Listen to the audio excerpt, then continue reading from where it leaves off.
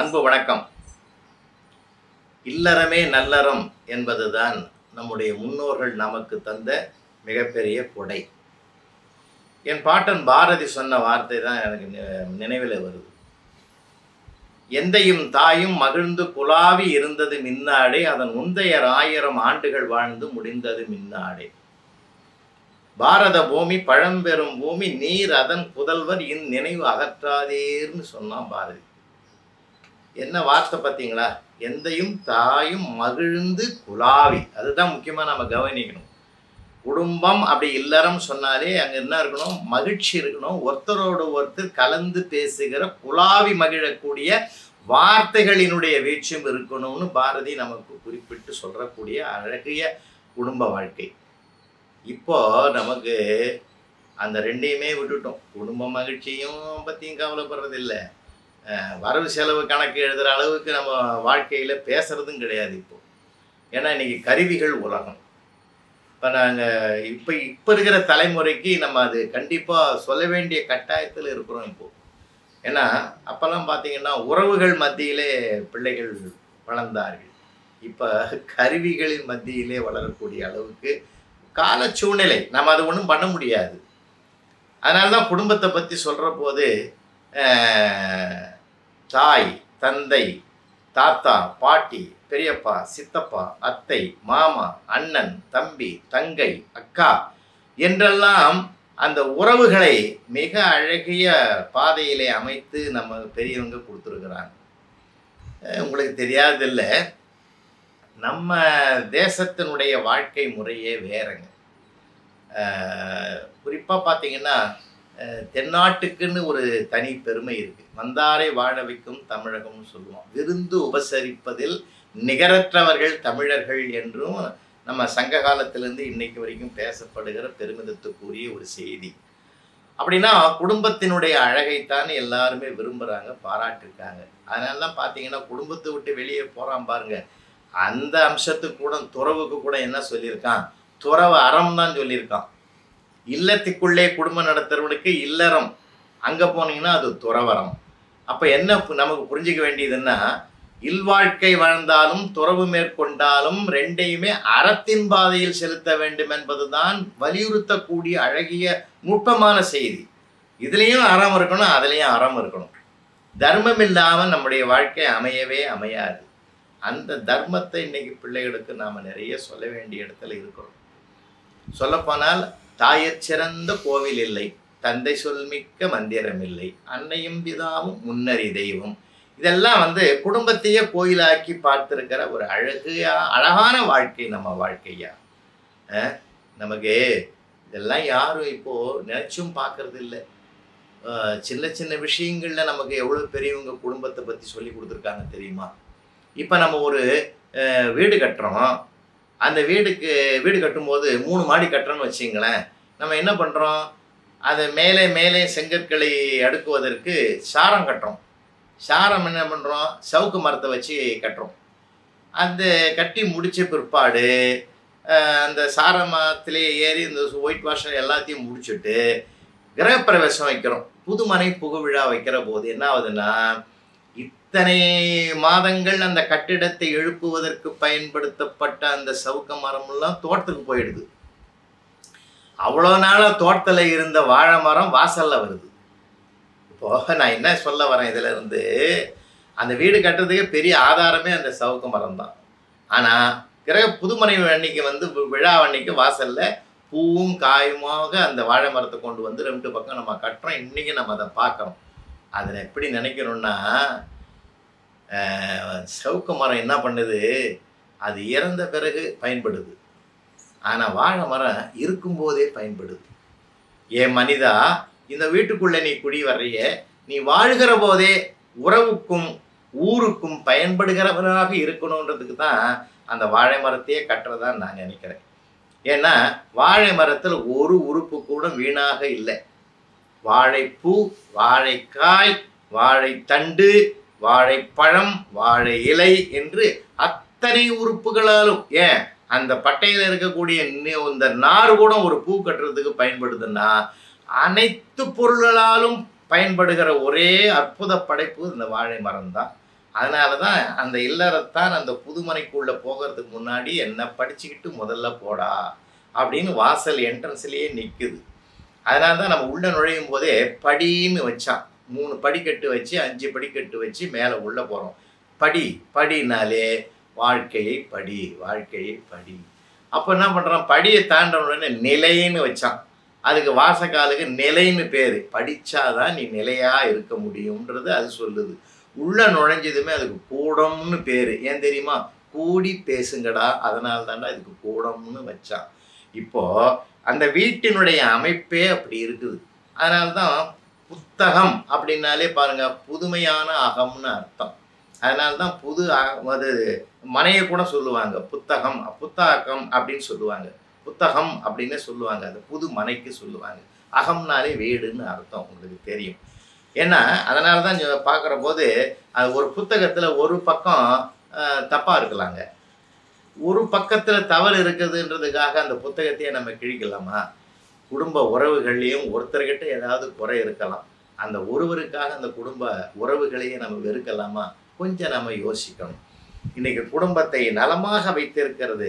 அதனால தான் பாரதி சொன்ன அந்த மகிழ்ச்சி இருக்கே.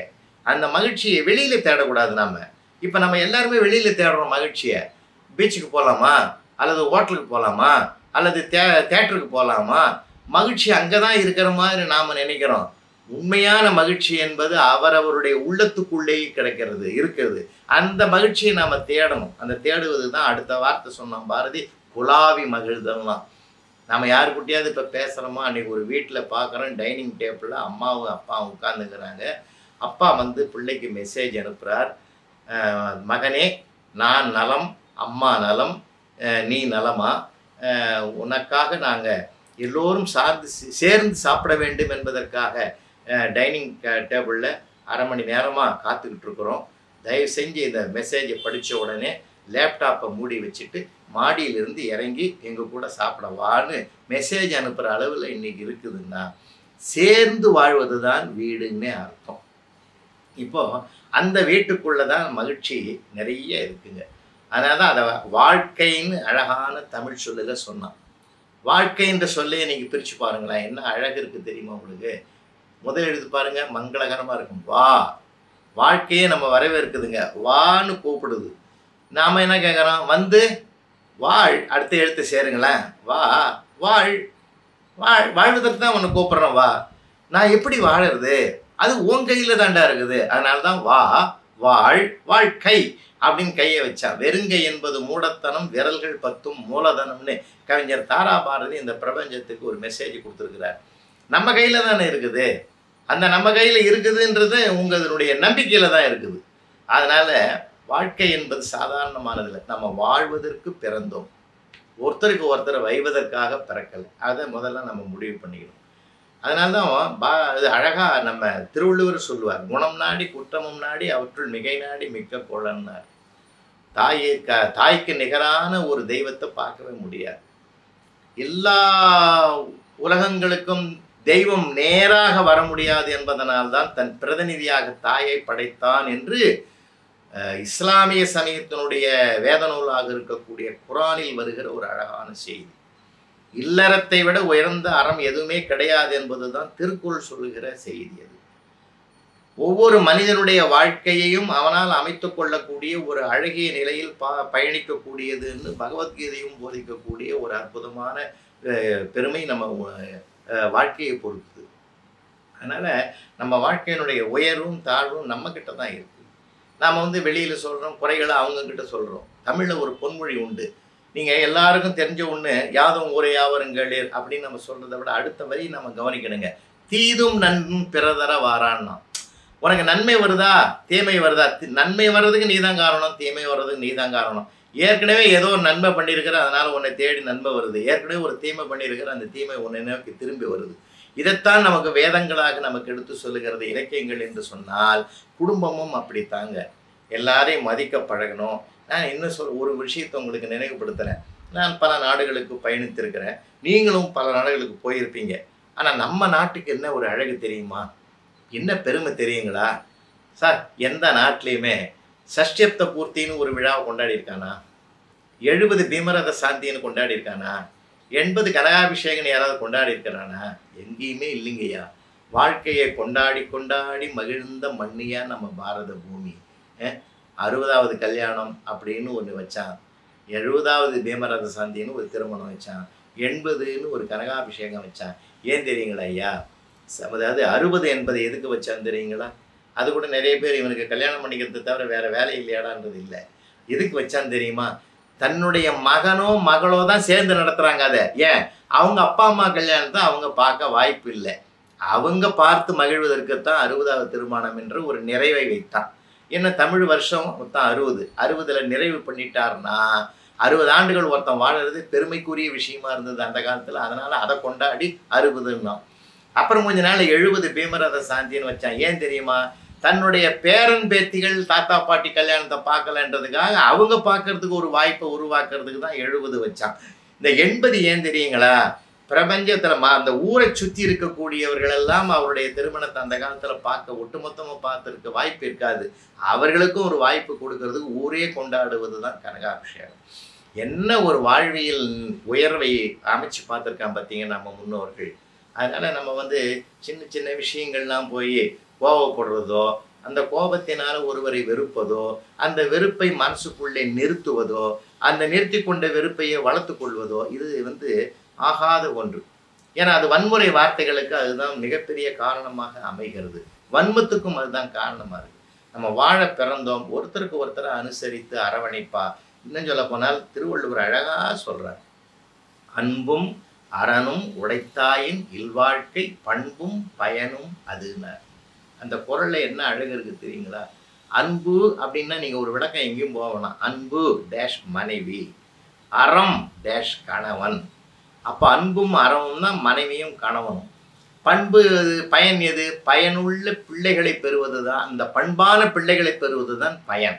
அப்போ ஒரு குடும்பத்தையே காட்டக்கூடிய குரல் என்பதனால் தான் இன்றைக்கும் எல்லா கல்யாண பத்திரிகையிலையும் ஆயிரத்தி முந்நூற்றி முப்பது குரலில் இந்த ஒரு குரலை தான் போடுறான் வேற எந்த குரலையும் மாற்றி போடுறதே கிடையாது.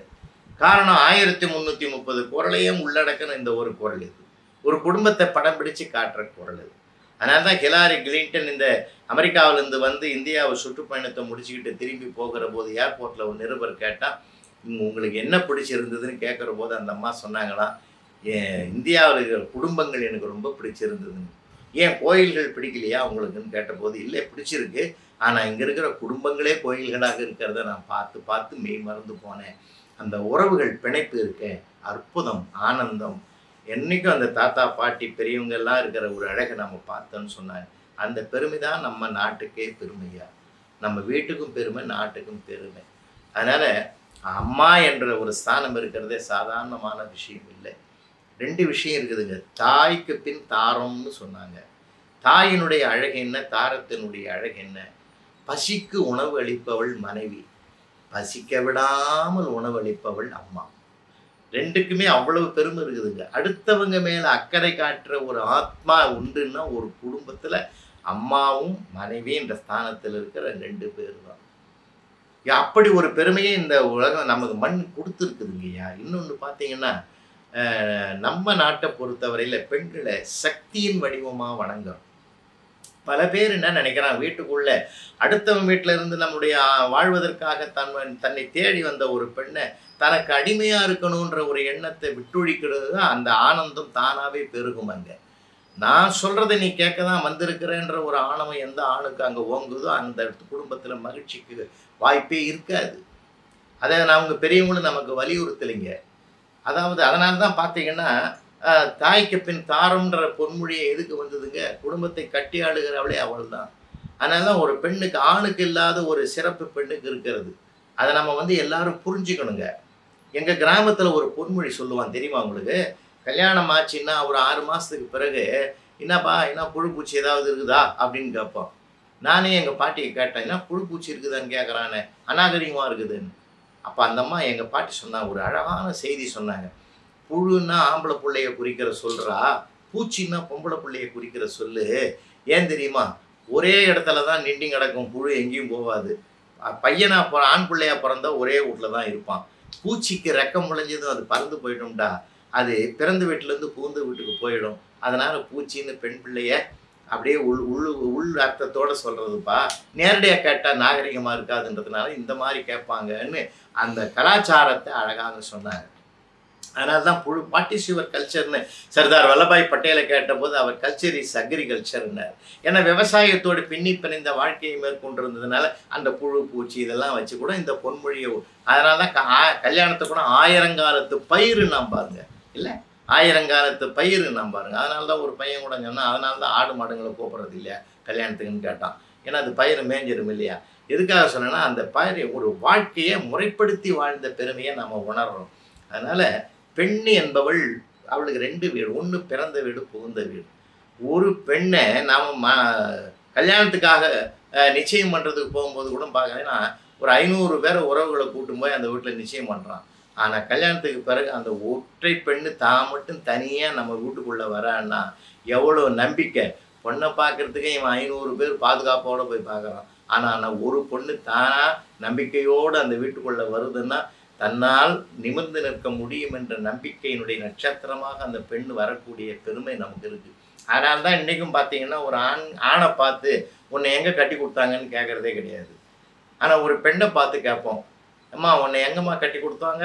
ஆ என்னை விழுப்புரத்தில் கட்டி கொடுத்தாங்க தாம்பரத்தில் கட்டி கொடுத்தாங்க அப்படின்னு சொல்லும்போது ஏன் அந்த வார்த்தையை கவனிங்க? கட்டி கொடுக்கறது என்னதேமா அந்த குடும்பத்தை கட்டி காப்பவள் இவள் என்பதனால் தான் கட்டி கொடுத்தாங்கன்னு கேட்பாங்க. ஒரு ஆணை போய் கேட்கறது இல்லை. அது அப்படி ஆணை கேட்டால் அது அவமானத்தினுடைய அடையாளம்னு அந்த காலத்திலே அதை புறக்கணிச்சு வச்சுருந்தான். அதனால் கடவுள் தந்த வரம்தான் ஒரு ஆணாய் பிறப்பது.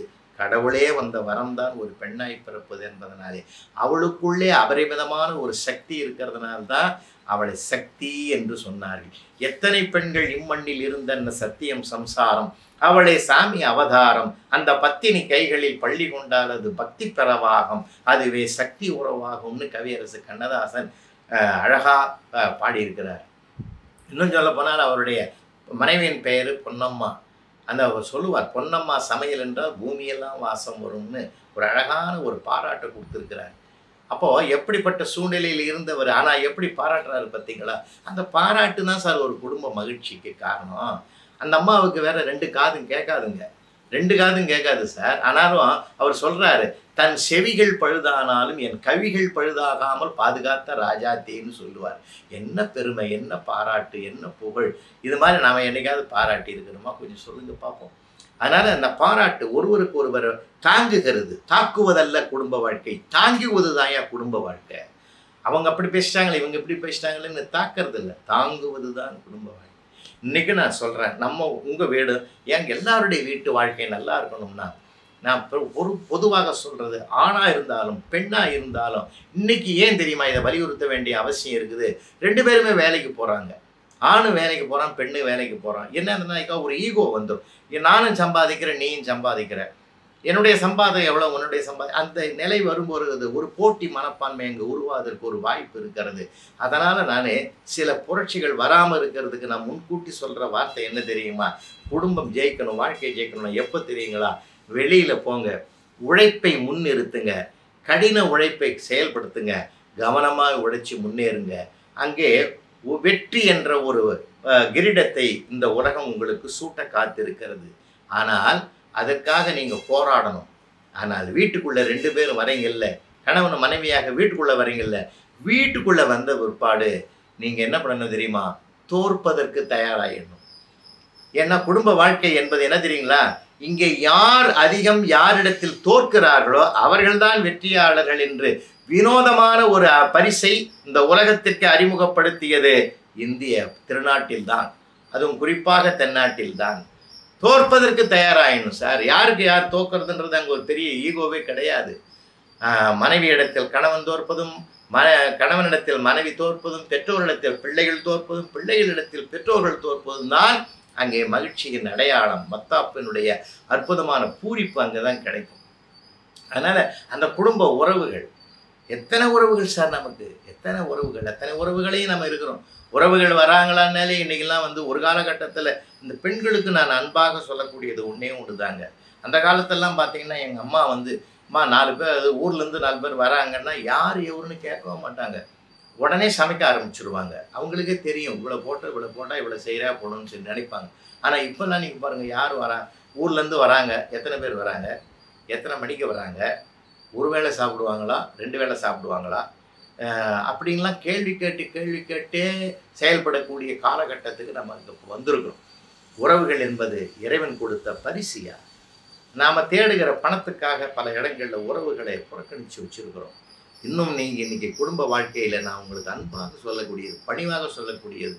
பெற்ற தாய்க்கும் தந்தைக்குமாக ஒரு ஒரு இப்போ ஒரு ஒரு உதவி உதவிக்கரத்தை ஏற்றக்கூடிய பிள்ளைகளாக உருவாக வேண்டும். ஏன்னா இன்றைக்கி அந்த தன்மை குறைஞ்சிக்கிட்டே வருது. அந்த பண்பாடு குறைஞ்சிக்கிட்டு வருது. படிப்பு வளருதுங்க. எங்கே பார்த்தாலும் படிப்பு வளருது திறமை வளருது பட்டங்கள் வளருது டிகிரி வளருது கல்வி வளருது பணம் வளருது எல்லாம் வளருது சார். பண்பாடு போயிட்டு அந்த பண்பாடு என்பது தான் நம் தேசத்தின் குடும்பத்தினுடைய ஆணி வேர். அதனால தான் பெண்ணை சொல்லுகிற போது பாரதியனுடைய வரி என்ன? நீ இருந்தாய் கண்ணம்மா வீழ்ந்து விடாமல் இருந்தேன். வேறு அவர் தாங்க. ஒரு பெண் தாங்க வேறு. இப்போ நமக்கு மரம் கண்ணில் தெரியுது. மரம் தெரியுது இலை தெரியுது பூ தெரியுது பிஞ்சு தெரியுது காய் தெரியுது கனி தெரியுது கிளை தெரியுது. எல்லாம் தெரியுது. ஆனால் அந்த மரத்தை பாதுகாத்துக்கிற ஜீவன் ஆன்மா உயிர் அந்த வேர் தான் என் மண்ணுக்குள்ளே இருக்கு. மண்ணுக்குள்ளே இருக்கிற வேர் தான் மரத்தினுடைய பெருமைக்கும் காரணம் என்றால் மனைக்குள் இருக்கிற ஒரு பெண் தான் வேறாக இருப்பாள். அவள் தான் அதனால் தான் சேக்கிடார் சொன்னார் ஒரு பெண்ணை மனையறத்தின் வேர் அப்படின்னு ஒரு அற்புதமான சொல்ல சொல்லியிருக்கிறார். ஒரு இல்லாளுக்கு. அதனால தான் அவளுக்கு இல்லாள்னு பேர் இல்லத்தை ஆள்பவள். நீங்கள் இல்லான்னு சொல்லி பாருங்க அவன் ஒன்றும் இல்லாதவன் ஆயிடும். அதனால் குடும்பத்தில் சில சில சின்ன சின்ன சிக்கல்கள் வரும். சின்ன சின்ன பிரச்சனைகள் வரும். அதெல்லாம் வந்து நம்ம வந்து எளிமையாக எடுத்துக்கணும். ஒரு வேட்டி இருக்குதுன்னா ஒரு கருப்பு புள்ளி இருக்குதுன்னு வச்சுங்களேன். அந்த கருப்பு புள்ளி ஒரு சதவீதம் தான் சார். தொண்ணூத்தொம்பது பர்சன்ட் வெள்ளை இருக்கு. நம்ம அதை இல்லை தொண்ணூத்தொம்பது பர்சன்ட்டை மறந்துடுறோம். அந்த ஒன்றை மட்டுமே நினச்சிக்கின்னு கருப்புள்ளி இருக்குது கருப்புள்ளி இருக்குதுன்னு கவலைப்படுறோம். அதுதான் அந்த குடும்பத்தில். யாருக்கு குறை இல்லை யாருக்கு பிரச்சனை இல்லை. அவன் கண்ணதாசனே பாடினா பாருங்க வாழ்க்கை என்றால் ஆயிரம் இருக்கும் வாசல் தோறும் வேதனை இருக்கும். எந்த வீட்டில் எந்த பிரச்சனை இல்லை எல்லார் வீட்லேயும் பிரச்சனை தான் இருக்குது ஒரு வீட்டுக்குள்ளே வந்து கூட பார்த்தீங்கன்னா ஒருத்தன் திருடுறான் திருடிட்டு பீரோவிலேருந்து அந்த பொருள் இந்த பொருள் எல்லாம் எடுத்துடுறான். எடுக்கும்போது அந்த அம்மா மூழ்ச்சிக்குது மூழ்ச்சிக்குன்னு சொல்லுது திருடா திருடா இதே தெருவில் பத்தாம் நம்பர் வீட்டில் ஒரு அம்மா. இன்னைக்கு தான் போய் நகையெல்லாம் வாங்கியாந்துருக்கிறதா சொன்னால் அங்கே போனால் இதை விட கூடுதலாக கிடைக்கும். அப்படின்னு சொல்லி அந்த அம்மா சொல்ல உடனே அவன் மயங்கி கீழே வந்துட்டான் தண்ணியை தெளித்து திருடனை எழுப்பி ஏன்டா நீ மயங்கினேன்னா அந்தம்மா சொல்லி தான் நான் ஓட்டுக்க வந்தேன் திருட. நல்ல ஒற்றுமையாக இருக்கிறீங்க அப்படின்னு பா சொன்னான். எதுக்கு சொல்கிறேன்னா அடுத்தவர்களை கண்டு பெருமை அடைய வேண்டுமே தவிர அடுத்தவர்களை பார்த்து பொறாமை அடைவது வாழ்க்கை அல்ல. நம்ம வீட்டுக்குள்ளே நம்ம யாரை எல்லாருக்கும் கொடுத்து உதவுங்க. உதவிக்காரத்தை நீங்கள் ஒருத்தருக்கு உதவினீங்கன்னா உங்களுக்கு உதவுவதற்கு ரெண்டு பேரை ஏற்பாடு செய்வான் இறைவன் என்பதுதான் நம்முடைய பக்தி இலக்கியங்கள் சொல்லக்கூடிய பாதை. அதனால் ஒருவர் ஒருவர் மதிக்கிறது. பெரியவங்களை வணங்கி ஆசீர்வாதம் வாங்குறவங்க என்னங்க? எவ்வளவு அந்த பண்பு? இன்னும் ஒன்று குடும்ப நல்ல குடும்பத்தினுடைய மகிழ்ச்சிக்கு ஒரு குடும்ப உறவுகள் செழிப்பதற்கு இல்லறத்தை நல்லறமாக்கி பாதையை நடத்துவதற்கு எது ஆதாரம் தெரியுமா? மூணு குணங்கள் ஆதாரம்.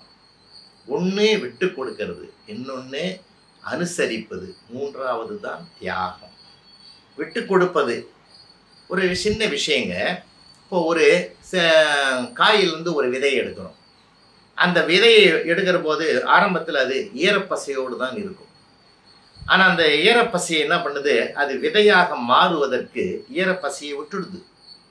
ஈரப்பசையை விட்டுடுது. அது விதையாக ம மதிக்கப்படுது. ஒரு ஆறு மாதத்துக்கு பிறகு அந்த விதையை மண்ணுக்குள்ளே வைக்கிறோம் அந்த விதை மீண்டும் முளைக்குது. அப்போ என்ன ஆகுதுன்னா மண்ணுக்குள்ளே போன அந்த விதைக்கு நம்ம தண்ணியை மேலே ஊற்றுறோம் மீண்டும் அந்த ஈரப்பசையை எடுத்துக்குது. அப்போ அந்த விதை நமக்கு வாழ்க்கை பாடம் நடத்துது. என்ன தெரியுமா? எப்போ விட்டு கொடுக்கணும் எப்போ எடுத்துக்கணும் என்ற ஒரு வாழ்வியல் பண்பாட்டை அந்த விதை நமக்கு கற்றுக் கொடுப்பதாகவே நான் கருதுகிறேன். அதனால் நாம் விட்டு கொடுக்குற பண்பு அது கணவன் மனைவிக்கு மனைவி கணவனுக்கு ரெண்டு பேரும் சேர்ந்து பிள்ளைகளுக்கு சார் பிள்ளைகளுக்கு அதனால் அந்த பண்பாட்டில் நாம் இன்னும் நம்ம குறையிலைங்க. அதே மாதிரி மூத்தவர்கள். ஏன்னா அன்னைக்கு நம்ம சொல்ல வேண்டிய அவசியம் இருக்குது. பென்ஷன் வாங்குற மாமனாருக்கு மாமியாருக்கு இருக்கிற மரியாதை பென்ஷனே இல்லாதவருந்து பிள்ளையையும் நம்பி இருக்கிற பெற்றோர்களுக்கு இன்னைக்கு அந்த ஒரு உபசாரணை கிடைக்கல. அந்த உபகாரம் அவங்களுக்கு வந்து சேரலை. அவர்கள் இருப்பதை ஒரு சுமை என்று கருதுகிறார்கள். ஆனால் சுகம் என்று கருதக்கூடிய மனோபாவத்தில் இருக்கிற குடும்பம் தான் மகிழ்ச்சியான குடும்பம் என்பது நமது. லட்ச ரூபாய் வச்சுருக்கிறோம் லட்சாதியில் அம்மா அப்பா கூட இருக்கிறவன் தான் சார் லட்சாதிபதி. தாத்தா பாட்டியும் சேர்த்துருந்தா அவன் தான் சார் கோடீஸ்வரன். நம்முடைய எண்ணங்களை மாற்றிக்கணும் ஏன்னா வாழ்வதற்காக கொண்டு வந்தாரும் இல்லை கொண்டு போவோரும் இல்லை. இதுதான் கண்ணதாசன் பிரபஞ்சத்துக்கு சொன்ன வார்த்தை.